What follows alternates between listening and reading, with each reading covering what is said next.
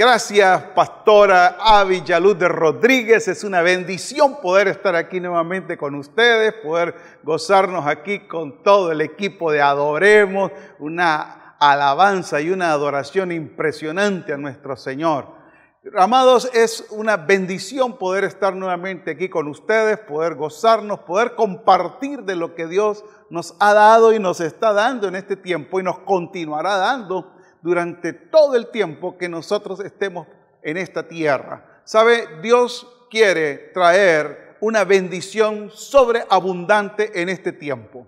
Dios quiere que tú lo conozcas en una dimensión no solamente de lo sobrenatural, sino de la sobreabundancia y de la multiplicación, porque el Dios que nosotros tenemos, que es nuestro Padre, no es un Dios escaso, no es un Dios limitado, es un Dios ilimitado. Él es el Dios de la sobreabundancia y de la multiplicación cuando Dios creó los cielos y la tierra, Él declaró la palabra, Él profetizó, Él dijo, sean los peces del mar y multiplíquense. O sea, no se quedó solamente con la palabra de decir, sea creado, sino que acompañado a la declaración de su palabra, a decir que se cree, que se ha creado, que se han hecho, iba acompañada también de la palabra de multiplicación. Dios pudo haber dicho, sean los peces y quedarse allí. Pero continuó y dijo, y sean multiplicados, se multipliquen. Así que estamos en un tiempo donde Dios quiere traer un refrescamiento a nuestras vidas, a nuestra mente, a nuestras memorias, que Él es el Dios de todo poder, Él es el Dios creador, Él es el Dios de lo imposible, Él es el Dios sobreabundante y el Dios que te multiplica en todo lo que tú hagas, que todo lo que toque tu mano será prosperado. Así que de esta mañana declaramos que es este tiempo de restitución y es un tiempo también de multiplicación, porque la restitución también viene acompañada de la multiplicación. Y sabes, tenemos un tema hermoso que tiene que ver con la multiplicación. Y cuando nosotros hablamos de la multiplicación y hablamos de lo profético y hablamos de todo lo que Dios está haciendo en cuanto al tema de la abundancia y de la sobreabundancia, es muy difícil dejar de pasar por un pasaje, por una historia impresionante que tiene que ver con lo profético y con la multiplicación. Y ese pasaje, esa historia, la encontramos en Segunda de Reyes, capítulo 4, verso 1 al 7. Es sumamente difícil poder hablar de multiplicación sin mencionar esta historia hermosa, que la vamos a leer a continuación. ¿Sabe? El profeta Eliseo se encuentra con una mujer viuda, es más, la viuda sale a buscar al profeta Eliseo. Estamos hablando más o menos que eso ocurrió en los años 850 antes de Cristo. Y entonces esta mujer su marido había muerto y la dejó en la calle, la dejó empobrecida, la dejó sin recursos, la dejó endeudada. Pero vamos a leer qué, cómo dice realmente el relato en la escritura. Y dice así, una mujer de las mujeres de los hijos de los profetas clamó a Eliseo diciendo, tu siervo, mi marido ha muerto, y tú sabes que tu siervo era temeroso de Jehová y ha venido el acreedor para tomarse dos hijos míos por siervos. El, el, acreedor quería dejar sin sus hijos a esta mujer. O sea, quería cerrar la descendencia profética, quería anularla. Y Eliseo le dijo, ¿qué te haré yo, mujer? Declárame qué tienes en casa. Y ella dijo, tu sierva ninguna cosa tiene en casa. Mire qué tremendo. Este profeta la había dejado sin nada, no tenía ni una cosa en casa. Si no dice una vasija de aceite. ¿Sabes? Me sorprende porque aún cuando Elías llega donde la viuda de Sarepta de Sidón, no solo tenía aceite, también tenía harina, pero esta mujer solo tenía aceite, una vasija de aceite, que es algo que nunca puede faltar en Israel. O sea, esta mujer no tenía ni siquiera harina para preparar una torta de pan, lo que me dice que no había palabra profética, que no había palabra revelada en esa casa. Y le dijo, ve y pide para ti vasijas prestadas de todos tus vecinos vasijas vacías. Mira, que no sean pocas, o sea, que sean muchas. Porque lo que estás por ver, mujer, es un acontecimiento sin precedente. No lo ha visto jamás, nunca lo ha visto. Así que consigue vasijas prestadas, no pocas. Y entra luego y enciérrate tú y tus hijos y echa en todas las vasijas y cuando esté llena, ponla aparte. Y se fue la mujer y cerró la puerta, encerrándose ella y sus hijos, y ellos le traían las vasijas, y ella echaba el aceite. Cuando las vasijas estuvieron llenas, dijo a uno de sus hijos, tráeme aún otra vasija. Y él le dijo, no hay más vasijas. Entonces cesó el aceite. Vino ella luego y lo contó al varón de Dios, el cual le dijo, ve y vende el aceite y paga a tus acreedores y tú y tus hijos vivid de lo que quede. Impresionante eh, historia, impresionante relato que hace dentro del caminar profético de Eliseo. Eliseo fue un profeta que hizo el doble de milagros que su padre Elías. Pero aquí se encuentra con que uno de sus hijos espirituales o ministeriales había fallecido y había dejado a su viuda, a su esposa, la había dejado sin nada, sin nada de dinero. La había dejado, además de que sin nada, la había dejado endeudada. Y además de eso, el acreedor quería llevarse a dos de sus hijos. Impresionante que sea la mujer o la esposa de un profeta. Porque lo profético siempre va acompañado de la multiplicación. O la multiplicación siempre fluye de lo profético. Entonces, siempre que lo profético está en un lugar, siempre hay multiplicación. Porque lo profético genera vida, y donde hay vida, hay multiplicación. Entonces, siempre que esté fluyendo el aceite, profético, siempre que esté fluyendo la unción profética, siempre que haya un manto profético en la casa, siempre habrá multiplicación porque lo profético trae vida, lo profético trae activación, lo profético trae un despertar, lo profético trae un avivar de Dios. Y entonces, por lo tanto, cuando lo profético está fluyendo en un lugar, el río profético está fluyendo en un lugar, siempre va a haber multiplicación. ¿Por qué? Porque lo profético genera vida y donde hay vida hay multiplicación. Entonces vemos que todo lo que es nacido de Dios dice que genera vida y lo que tiene vida va a ser multiplicado. Lo profético siempre va a generar vida. Jesús mismo dijo, el que tiene al Hijo tiene que la vida, el que no tiene al Hijo no tiene la vida. Entonces, el que tiene al Hijo tiene la vida.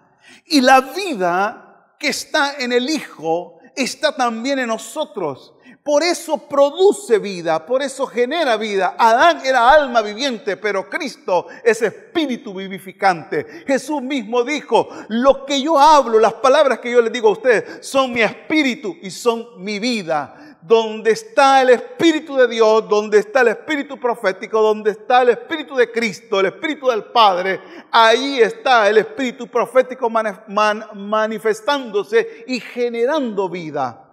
Jesús mismo dijo, yo soy el camino, la verdad y la vida. Donde ellos están, donde está el Padre, donde está el Hijo, donde está el Espíritu Santo, que es uno mismo, hay vida y manifestación de vida.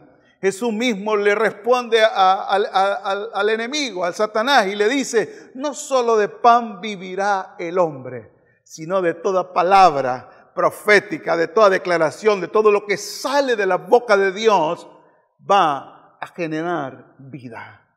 Por eso es impresionante ver en esta situación cómo es posible que la mujer de un profeta haya quedado sin recursos. Si lo profético multiplica, eso también quiere decir que prospera. Viene acompañado de abundancia y de sobreabundancia.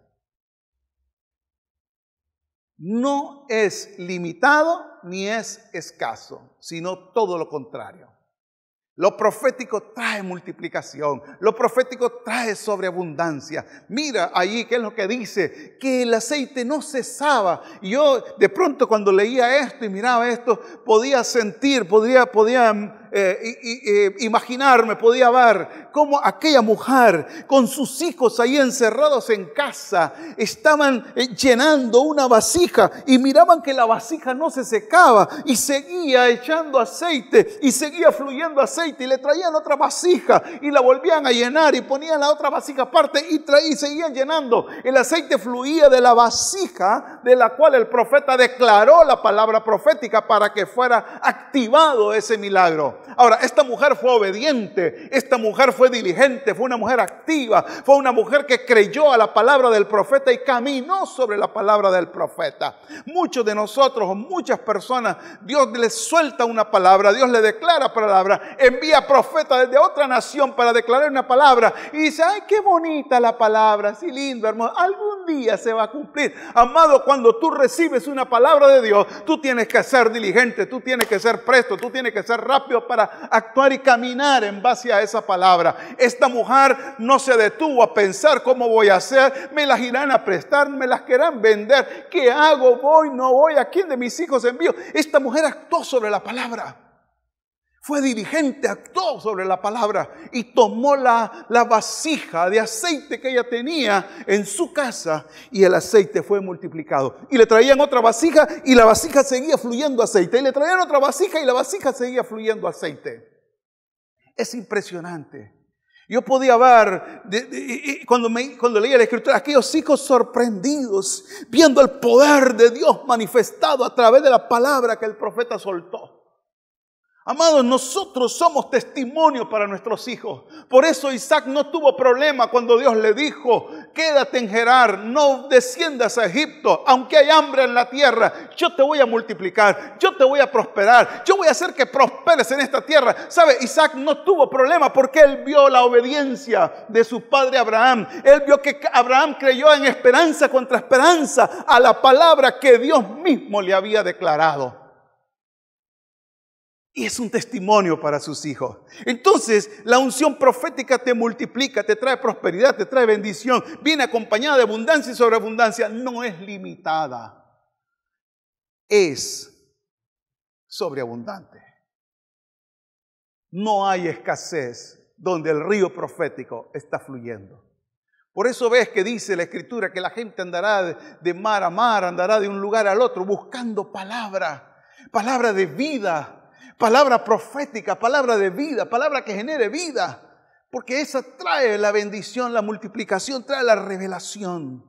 Vemos a la esposa de este hombre que estaba en una extrema pobreza y una extrema miseria, pero como la boca del profeta declara una palabra y ella sale de sus deudas y paga todo lo que debe.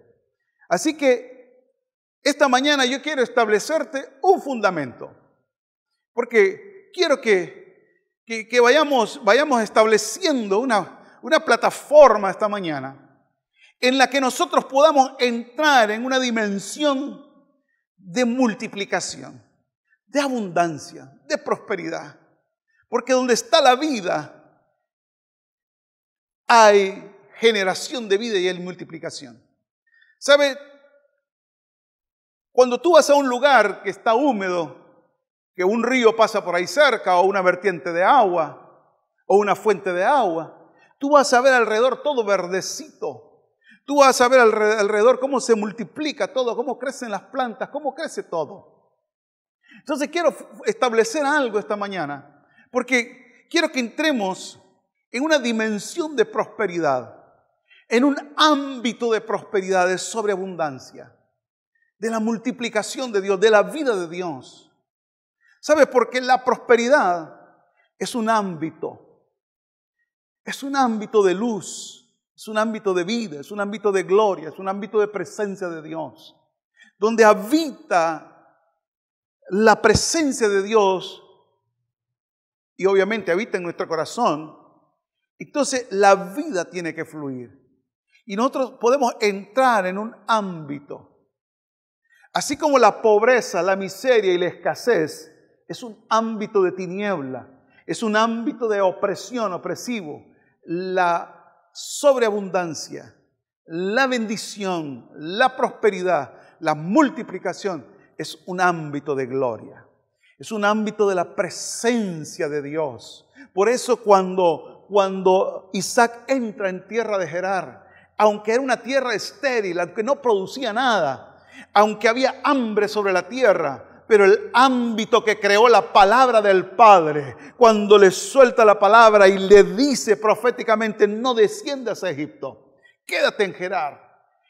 Por eso la simiente que estaba en Isaac, porque él era la simiente de Dios en ese momento, él era quien venía a través de, del linaje de Abraham, venía en Isaac lo que iba a ser la descendencia de todo lo que podemos ver. Entonces, por eso cuando Él entra, el ámbito de su presencia, de la presencia de Dios, del, mover profético de la palabra, entra a ese lugar.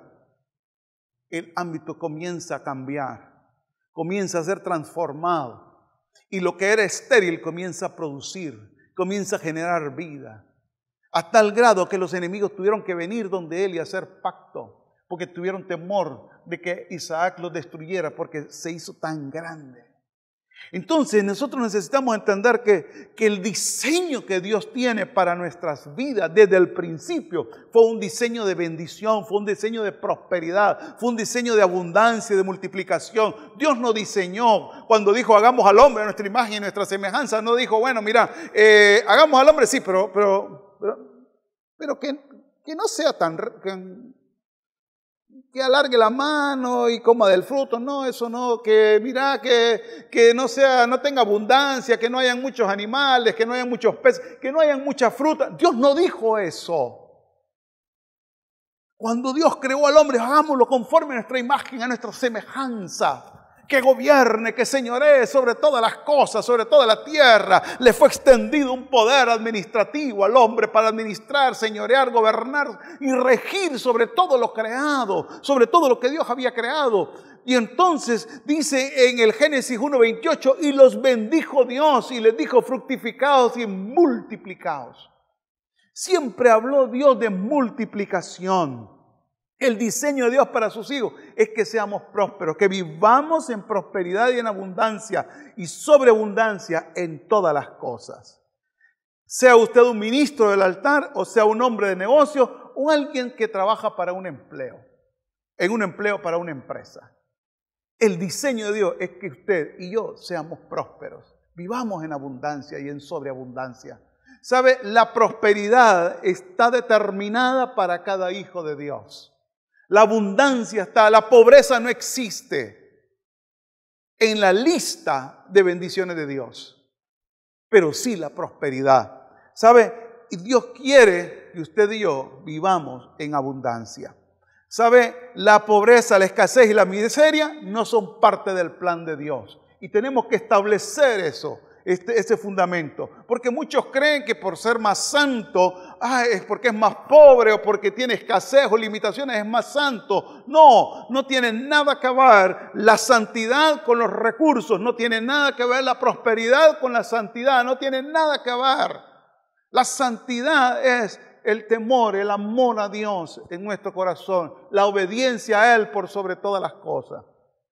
Y vamos a leer ahí en Juan 3, o perdón, en tercera de Juan, capítulo 1, del 1 al 4, pero me voy, a, me voy a, detener en uno de los versos. Dice, amado, yo deseo que tú seas prosperado en todas las cosas y que tengas salud así como prospera tu alma.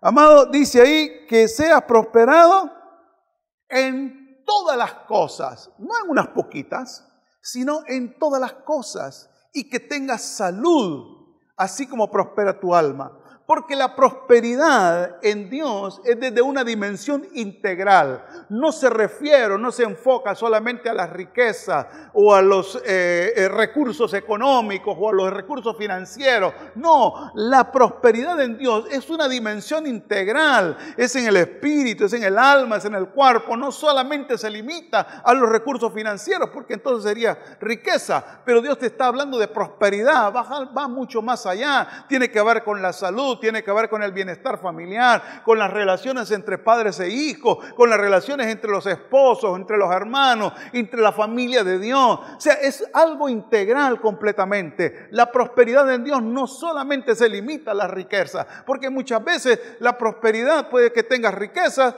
pero no hay cosas que no se compran con el dinero. Pero la prosperidad en Dios es integral, no se limita al dinero.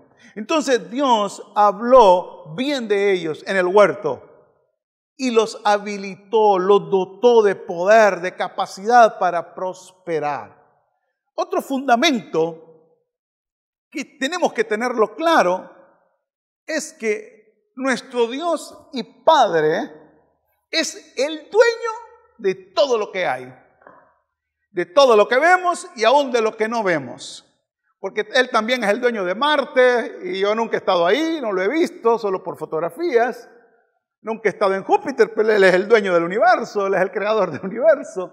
Pero aquí en la tierra, la escritura dice en el libro de los Salmos, en el capítulo 24, que dice que de Jehová es la tierra y su plenitud, el mundo y los que en él habitan. O sea, todo es de Dios todo es de Él. El libro de Ageo dice, mío es el oro, mío es la plata. O sea, todo es de Dios, absolutamente todo es de Dios. Por lo tanto, yo tengo acceso a todo lo que le pertenece a mi Padre. ¿Cómo? ¿Por qué? Porque yo soy su hijo. Y como yo soy su hijo, yo tengo acceso a todo lo que mi Padre tiene. Si yo tengo necesidad de algo, yo voy donde papá y le digo, papito, necesito tal cosa. Si tengo necesidad de un vehículo, papá, necesito un vehículo. Si necesito un equipo de cocina, papá, necesito un equipo nuevo de cocina. O sea, yo voy al Padre porque el Padre es el dueño de todas las cosas. Él es el dueño de los bancos, Él es el dueño de las empresas, Él es el dueño de todo lo que en ella hay. Así que tenemos que tener claro Dios nos bendijo, Dios nos dio prosperidad en el diseño de Dios. Él estableció que fuéramos prósperos, que viviéramos en abundancia, en sobreabundancia, que fuéramos multiplicados, que fuéramos fructíferos. Él desea que seamos prósperos, ese es el diseño de Dios, pero también tenemos que entender y estar claros que Él es el dueño de todo. Así que mi amado, Él es el dueño de lo que tú tienes, pero también de lo que no tienes. O sea, eres el, Él es el dueño de lo que ya tienes y de lo que tú necesitas, amado. Así que gózate, porque este es un día de bendición. Y Dios está rompiendo cadenas, lazos. Dios está rompiendo, triturando. Es un día de rompimiento. Es un día de rompimiento. Tú, tú sales de ese molde, tú sales de ese lugar, de ese sitio de escasez, de ese lugar de tiniebla, de ese ámbito de escasez. Tú sales y entras a un nuevo ámbito, al ámbito de su presencia, al ámbito de su gloria, al ámbito de su poder, al ámbito de su vida, de su multiplicación. En el nombre de Jesús. Porque además de ser un tiempo de restauración, también es un tiempo de restitución que verás aumentadas todas las cosas. Bueno, ¿qué pasó con este profeta? ¿Por qué estaba tan empobrecido? Y vamos a hacer una hipótesis. Vamos a hablar hipotéticamente algunas cosas. Y una de las cosas que vamos a hablar esta mañana es que el reino de Dios se mueve en base a principios espirituales que rigen, gobiernan desde los cielos los ámbitos naturales. Sabes, tú puedes ser apóstol, tú puedes ser profeta, tú puedes ser evangelista, pastor, pero tú en el reino Tú te tienes que mover en base a los principios espirituales del reino. Y cuando tú no caminas en base a esos principios espirituales que Dios mismo estableció, porque algunos creen que son leyes, pero más que leyes son principios divinos que Dios estableció para bendecirte, para prosperarte, para que tengas, eh, eh, ¿cómo se llama?, una, una vida victoriosa, una vida de bendición, una vida de abundancia. Y vamos a decir que tú eres el dueño de un hermoso Volkswagen Sirocco. Me gustan los Volkswagen Sirocco a mí. Y eres aquel último modelo, un hermoso Volkswagen Sirocco, en color amarillito pollo, como a mí me gusta, ¿verdad? Amarillito pollo. ¿Sabe? Es hermoso, bello aquel, ¿verdad? Lindo aquel carro, ¿no? Deportivo. Y tú quieres conducirlo. Es tuyo, te pertenece. Está a nombre tuyo, los papeles son tuyos, dice, y, está a nombre de, del hermano o tal. Pero si tú no introduces la llave en el vehículo, bueno, ahora ya no son llaves, ¿verdad? Ahora se usa otro tipo de, de, de llaves, ¿verdad? Se usan algo así como esto, ¿verdad? Entonces, si tú no usas esto, o si tú no usas la llave, en el caso de mi auto todavía usa llave, otros un botón ahora, pero si tú no usas la llave para abrir el vehículo, tú no vas a poder entrar en él. Y mucho menos si no introduces la llave para encenderlo, para echarlo en marcha, no vas a poder conducirlo. Entonces, a veces nos pasa eso mismo. Dios tiene la lista de todas las bendiciones, Dios tiene la lista de todo lo que incluyen las bendiciones, pero no terminamos de entrar porque hay algunas veces que no estamos viviendo de acuerdo a los principios.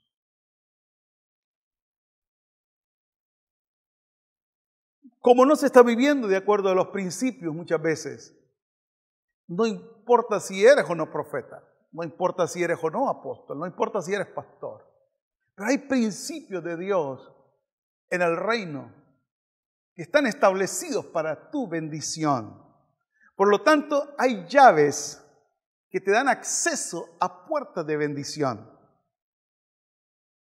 ¿Recuerdas cuando Jesús le pregunta a sus discípulos quién era él? Y unos decían, bueno, tú eres Juan el Bautista, otros decían, tú eres Jeremías, uno de los profetas. Y sí, pero ustedes quiénes dicen, ¿quién dicen ustedes que soy yo? Y bueno, y salta Pedro y le dice, bueno, Señor, nosotros hemos creído que tú eres el Cristo, el Hijo del Dios viviente. Y Jesús le dice, wow, Pedro, Pedrito, qué bueno. ¿Sabes una cosa, Pedro? Eso no te lo reveló ni carne ni sangre. Eso no lo aprendiste en el estudio bíblico. Eso no lo aprendiste en el instituto teológico. Eso te lo reveló mi Padre que está en los cielos. Por lo tanto, te doy autoridad a ti y te doy las llaves del reino de los cielos. Las llaves, muchas llaves. ¿Para qué? Para abrir muchas puertas en el reino de los cielos. Y entonces Pedro tiene acceso a través de llaves que el Señor le entrega. Por supuesto, estamos hablando llaves de autoridad, por supuesto, estamos hablando llaves de revelación.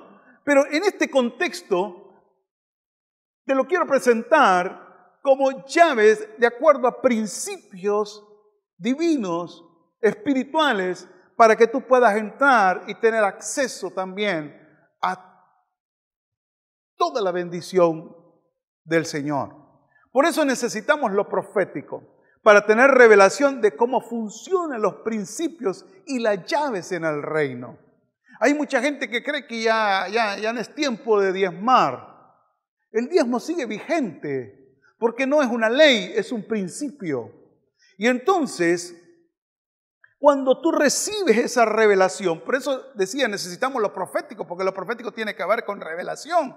Lo profético te revela la mente y el corazón de Dios. Lo profético te revela cómo funciona el reino en esta tierra y allá en los cielos también. Lo profético tiene que ver con revelación y la revelación te trae entendimiento. Pero además de entendimiento, la revelación te trae convicción al corazón y te introduce en la mente y en el corazón de Dios. Por eso el problema de aquellos que no tienen revelación, que ven a los principios como leyes o como una responsabilidad. Pero cuando tú tienes revelación, Ya no ves los principios como una obligación, ni como una, ni como, un, como una ley, ni como una responsabilidad, ni como una obligación o un deber para cumplir, sino que ves cómo funciona a través de los principios. Hay gente que dice, tengo que pagar el diezmo, porque todavía no le ha sido revelado que no es un pago, es una honra, es un principio de honra que está vigente en este tiempo. Y el diezmo es un principio divino, no es en sí una ley. Abraham, Isaac y Jacob recibieron la revelación del diezmo, lo recibieron por revelación, no porque alguien vino y les estableció una ley, sino que ellos lo recibieron por revelación. Moisés en la ley lo legalizó, o sea, Moisés legalizó el principio del diezmo. Ahora, ¿para qué te legalizó Moisés el principio del diezmo? ¿Sabes por qué? Porque te daría un poder legal para que cuando el enemigo venga a quererte robar tus cosechas, tú tienes un decreto por ley y no te las puede tocar. Por eso fue que fue establecido en la ley. Por eso Moisés la legalizó. Pero es un principio divino que Abraham, Isaac y Jacob lo recibieron por revelación del Espíritu, por revelación del Padre. Ellos lo recibieron y por eso pudieron diezmar. Por eso Abraham cuando aparece Melquisedec sale al encuentro y saca todo y le entrega los diezmos de todo. Le entrega el diezmo del botín de guerra. Le entrega todo y entonces Melquisedec le dice, bendito sea Abraham del Dios Altísimo que entregó tus enemigos.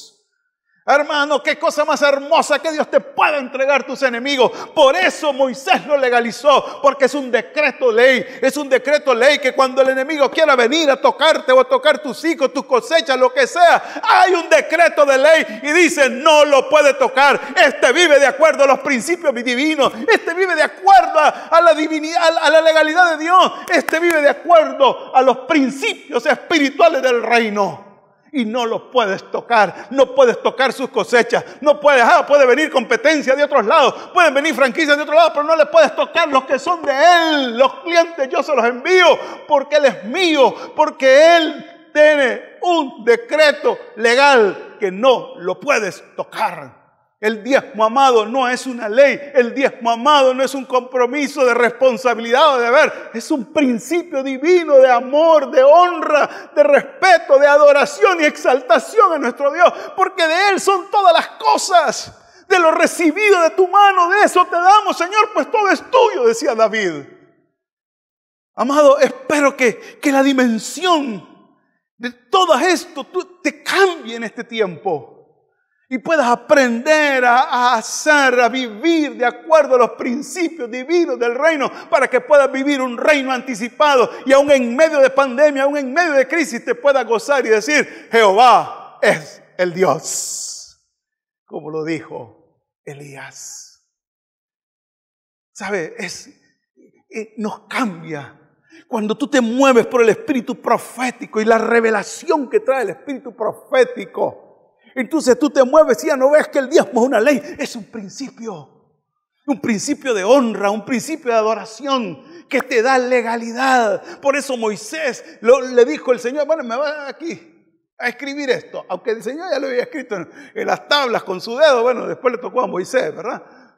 Pero sabes, es un principio de honra. Por eso Abraham, Isaac y Jacob lo hacían, que los recibieron por revelación. Es, un muro alrededor tuyo. Es un zarco de protección. Es, es una protección legal a tu favor. Nadie te puede tocar. Hay un rótulo que dice, nadie puede entrar a este predio. Nadie puede saltarse este muro. Ningún robador, ningún salteador. Porque hay decreto real. Él vive de acuerdo al principio del diablo. Y está en legalidad. Las ofrendas, las ofrendas te multiplican, te hacen crecer tus cosechas exponencialmente.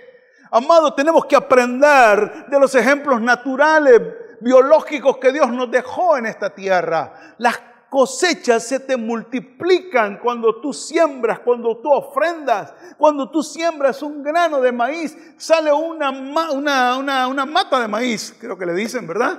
Y, salen tres mazorcas. Ahora contamos cuántos granitos de maíz hay en esas mazorcas. Y sembraste uno, si acaso dos, si acaso tres, pero te sale cuántas mazorcas. Amado, la ofrenda de aquella viuda le abrió los cielos. Amado, la ofrenda te hace multiplicar tus cosechas. Te trae multiplicación, te trae la bendición de que tú comienzas a ver una cosecha exponencial. La viuda de Dios blanca era todo lo que tenía para comer. El Señor tiene memoria de tus ofrendas. Las primicias, mis amados, son verdaderamente poderosas. Y hay quienes no le dan el verdadero valor. ¿Sabe? El seguro de tus cosechas para todo el año se llama primicias. Hay muchos que viven en escasez, en pobreza, en limitaciones, porque no han visto el poder generador de vida que tienen las primicias. Cristo fue la primicia del Padre. Él ya no es el unigénito del Padre, sino el primogénito, la primicia del Padre. Él es el primero de muchos que vendríamos. Tenemos que entender lo que y pedirle revelación al Espíritu Santo de lo que implica la primicia y aún en este tiempo son la garantía de que el aceite y la harina no va a escasear todo el año. Sabes, la viuda de Sarepta de Sidón, Elías le dijo, dame a mí primero. O sea, de lo poquito que tenía, de lo único que le quedaba, esa mujer, el poco de harina, el poco de aceite, le dio primero al profeta. O sea, le trajo la primicia de lo poquito que quedaba. ¿Sabes cómo se destruye el, el espíritu de, de Sidón, que es espíritu de pobreza, de miseria? alimentando lo alimentando la vida profética que está en nosotros, el Espíritu. ¿Sabes? Esta mujer, esta viuda, no solo vio la multiplicación de la harina y el aceite, sino vio cómo la muerte se fue de su casa cuando su hijo murió y el profeta clamó a Dios y Dios se la devolvió. Las primicias tienen un poder redentivo. Jesucristo es nuestra primicia. Él es la primicia del Padre.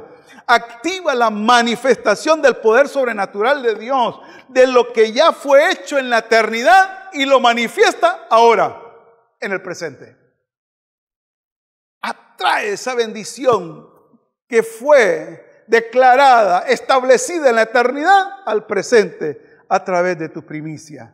La primicia en Ezequiel 44, 30 dice que son para hacer reposar la bendición del Padre sobre tu casa. O sea que la bendición estará ahí permanente, no se va. En la primicia, Abel trajo lo primero y lo mejor para Dios hasta el día de hoy. Es mencionado. Estas acciones son verdaderos actos proféticos, poderosos, que expresan tu obediencia a los principios divinos. Por eso vemos que, unos prosperan, se multiplican y dice, ¿qué está pasando? ¿Por qué este prospera? ¿Por qué multiplica? Claro, porque vive de acuerdo a los principios divinos. Y bueno, ¿y qué pasa que aquel, mira, no, no le crece la iglesia, no le crece esto, el carrito que anda, mira, pero porque algo está pasando que no está viviendo de acuerdo a los principios divinos. No es que Dios te está cobrando, pero hay un principio, hay una llave que te abre las bendiciones. Porque todo tiene que ver, estos principios espirituales, con honra, con honra a Dios. ¿verdad? Y la honra tiene que ver con adoración y la adoración con obediencia. Cuando tú obedeces, tú honras a Dios. Cuando tú honras, por eso le obedeces, porque lo quieres honrar. La honra tiene que ver con adoración y la adoración no son cánticos ungidos, la adoración es obediencia al Padre. Saben, nadie puede honrar a Dios sin obediencia, porque ahí en la obediencia Él es adorado. Primera de Samuel 2.30 dice, yo honro a los que me honran. Y la falta de honra, mire qué tremendo, la falta de honra cierra lo profético. Por eso Jesús no pudo hacer milagros en Nazaret, porque no lo honraron, no, no le dieron honra, sino que lo vieron, ah, el hijo del carpintero. No honraron lo que Dios había depositado y lo que él traía. Amados, si hay cosas terribles, son las deudas. Y esta mujer estaba agobiada. El acreedor se llevaba a dos de sus hijos. Quería destruir la descendencia profética. Sabes, este ha sido un tiempo difícil para nosotros, complicado. Cierran, abren, cierran, abren y, y aquel relajo. Luego vinieron los huracanes. Bueno, ha venido de todo. Y nosotros como empresa venía arrastrando una situación e-, económica del 2019. Y viene y que la pandemia y luego los huracanes. Ha sido un poco complicado. Y las tarjetas de crédito y los, y los proveedores y todo complicado. Llegó un momento que digo yo, wow, ¿qué voy a hacer? ¿Cómo voy a hacer? Empecé a preocuparme. Empecé a sentirme afligido, preocupado. ¿Sabes? Dios me rescató a mí cuando Él me llamó, me rescató y me liberó de las deudas para hacerme un hombre completamente libre de toda deuda.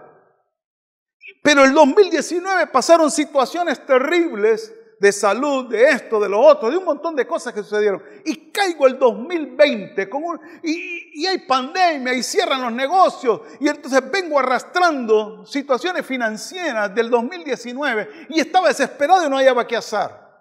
Y de pronto el Espíritu Santo me habló, me vino y me dijo, bueno, haz lo que sabes hacer. ¿Y qué es lo que sé hacer? Declarar la palabra. Y comencé a declarar la palabra profética. Y comencé a profetizar y comencé a declarar y comencé a hacer también todo lo que Dios me ha enseñado de vivir de acuerdo a los principios divinos. Y amados, hasta el día de hoy hemos podido ver su gloria, su manifestación, como en un tiempo que estaba todo cerrado, llegó el jefe de la policía y me dijo, óigame, abra aquí, usted tiene un hermoso autoservicio y pudimos abrir. Semanas después estábamos, estamos siendo incluidos como los únicos restaurantes dentro del pilotaje.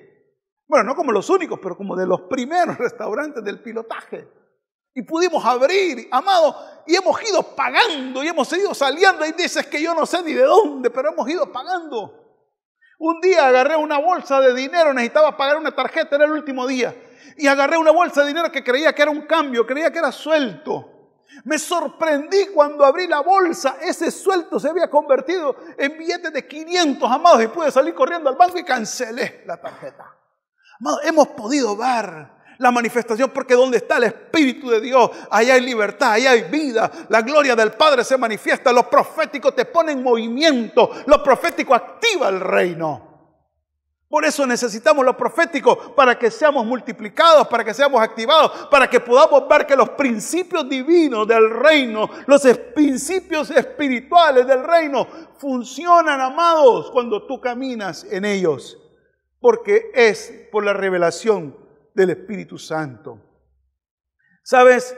Este profeta, Eliseo, le dice, ¿qué cosas tienes en casa? Y él responde, una vasija de aceite.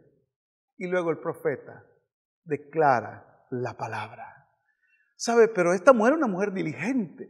Comienza a hacer las cosas pone a los hijos en acción. ¿Sabes? Porque muchas veces nosotros, eh, bueno, algunos padres muchas veces no quieren que sus hijos trabajen, no quieren que sus hijos hagan nada. Recuerdo cuando yo era un jovencito de 13 años y, estábamos en, vacaciones de, de, colegio, de la escuela, y entonces le dije a mi mamá, mamá, yo quiero trabajar en vacaciones porque yo quiero ganar un poco de dinero. Y entonces mi mamá fue donde unos padrinos míos, no sé si aquí conocen el término de padrino en otros países, pero, ¿sabe? me llevó a la tienda, a la empresa de, de unos padrinos míos. Le dije, mire, mi hijo quiere trabajar. Comadre, ¿será que sí? Sí, ya me dieron trabajo y empecé a trabajar un jovencito de 13 años.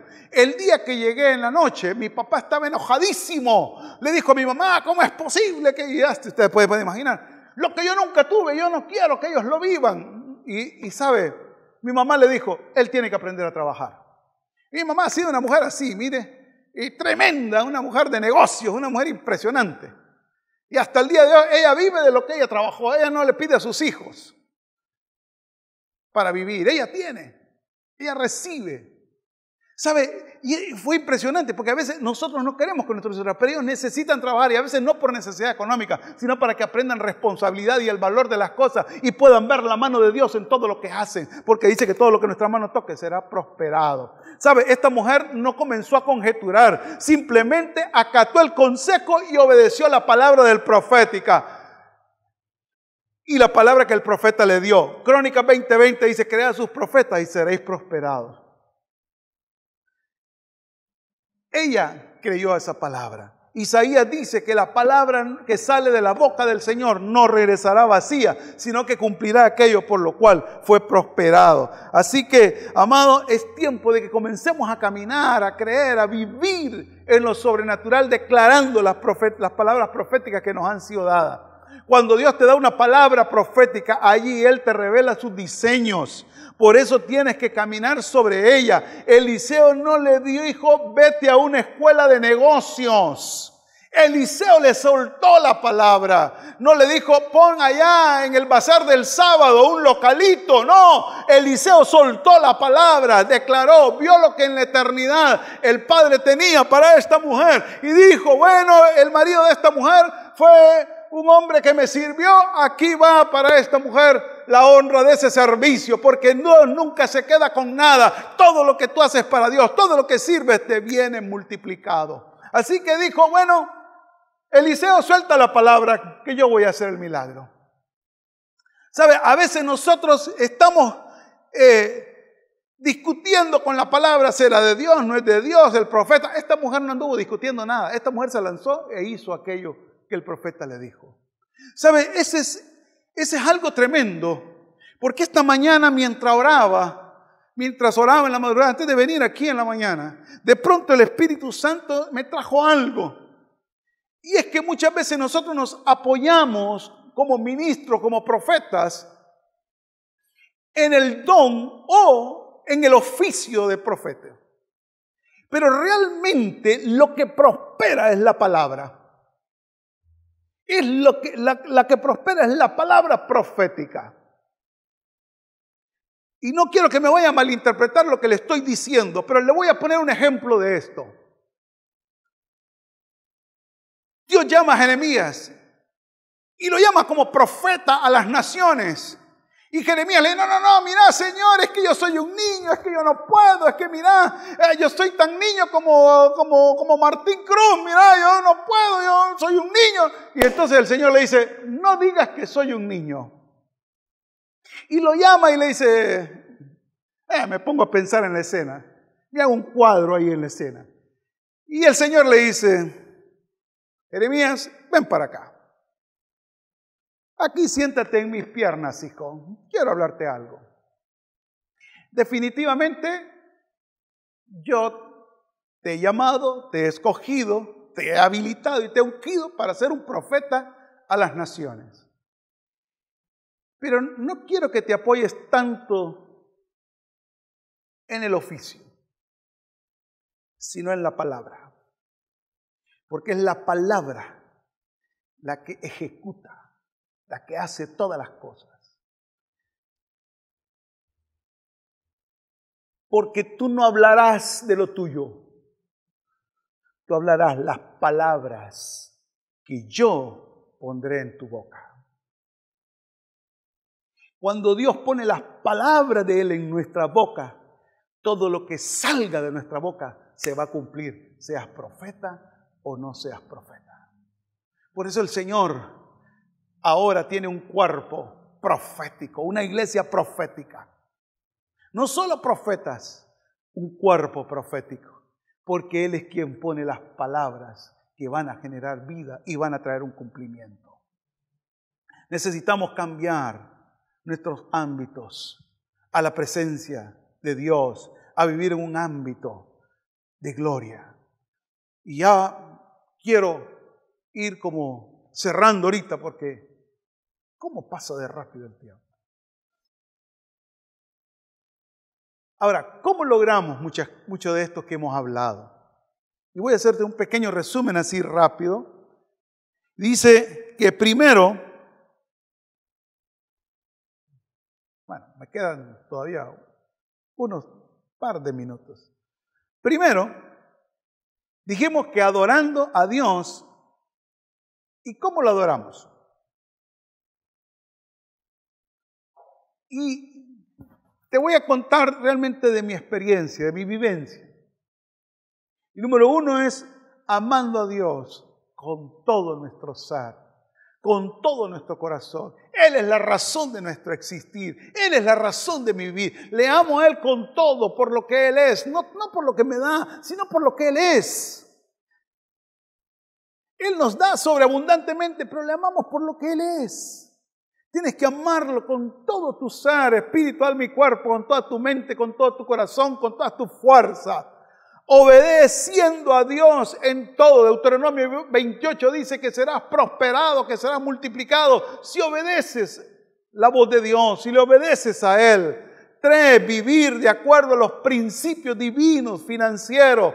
Cuatro, la honra a Dios y a nuestros padres biológicos, espirituales y ministeriales. Necesitamos de nuestro activador financiero. ¿Sabes? Cuando tú honras a Dios, cuando tú honras a tus padres biológicos, cuando tú traes honra a tus padres espirituales y ministeriales, eso se convierte en una activación financiera. ¿Sabes?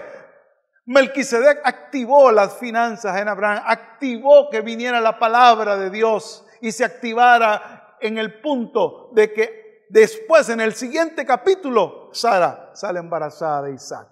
Cinco, creyendo y declarando la palabra profética, esta tendrá su cumplimiento. No la deseches, no te desanimes, aunque no se haya cumplido, esta tendrá su cumplimiento. No puede regresar a Dios vacía.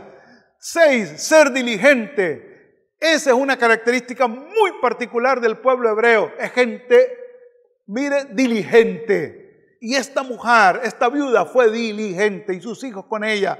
Séptimo, invierte en el reino de Dios. Dice la escritura en el libro de Crónicas del capítulo 27 y el 28 que David acumuló 160 toneladas de oro macizo para la construcción del templo. Mi amado, él acumuló plata, piedras preciosas, onix, bronce, madera, etcétera, todo para la construcción del templo. Los hebreos tienen esto bien claro dentro de sus principios, invertir en el reino. ¿Sabes?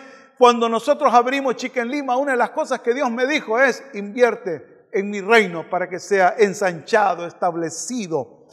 Ocho, cuando oramos por nuestros amigos, Job fue prosperado y multiplicado al doble después de que hubo orado por sus amigos. Y en esto tengo una experiencia reciente, fresquita, esta semana me ocurrió.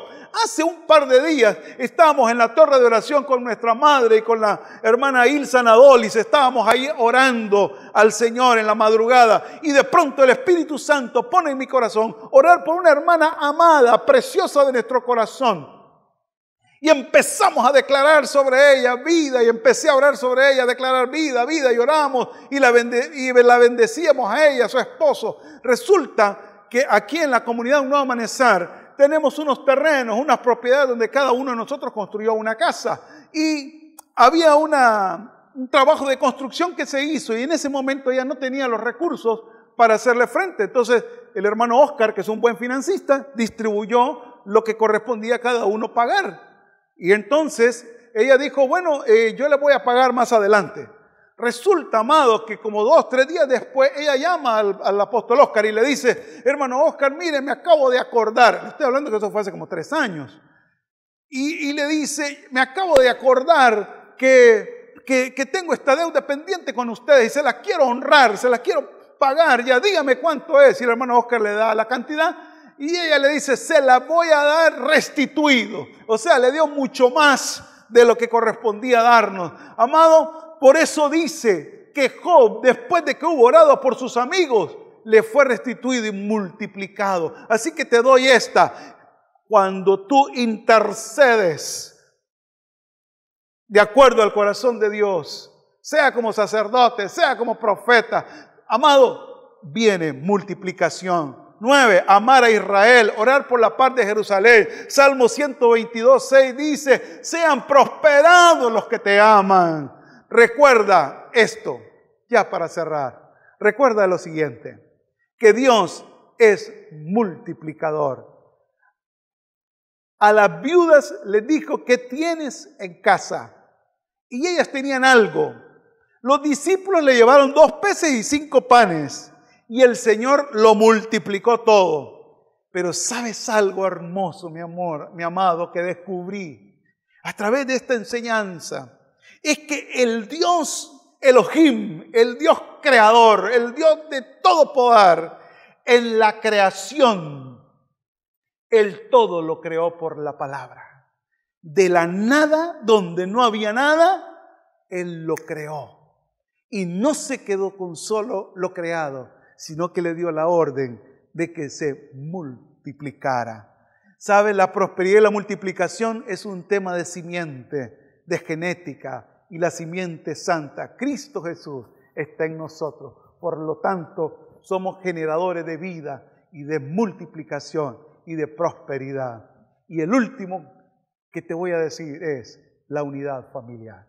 Es importante poder tener la familia en unidad, en amor, poder caminar juntos, que nuestros hijos nos apoyen en todo, nosotros apoyarlos a ellos en todo. ¿Sabe? Es hermoso que los padres puedan tener una linda relación con sus hijos, sus hijos con los, con los padres, que pueda haber honra en todo esto. Amado, me quiero despedir, pero sin antes declarar, no me quiero despedir sin antes declarar que este es un tiempo nuevo para tu vida. Un tiempo nuevo de bendición, de prosperidad, de sobreabundancia. Y que marzo será maravilloso, abril será precioso, mayo será un mes de una gloria mayor. Y junio verás cómo se juntan todas las bendiciones que el Padre ha declarado. Todo este año vendrán bendiciones, aunque el mundo esté en crisis. ¿Sabe? Isaías 60 sigue diciendo, aunque haya tinieblas sobre las naciones, aunque cubran las naciones, las tinieblas cubran las naciones. Sobre ti amanecerá Jehová y sobre ti será vista su gloria. Te bendigo, mi amado. Eres hijo de bendición, hijo de bendición, de multiplicación, de prosperidad. En el nombre de Jesús, sea más que bendecido.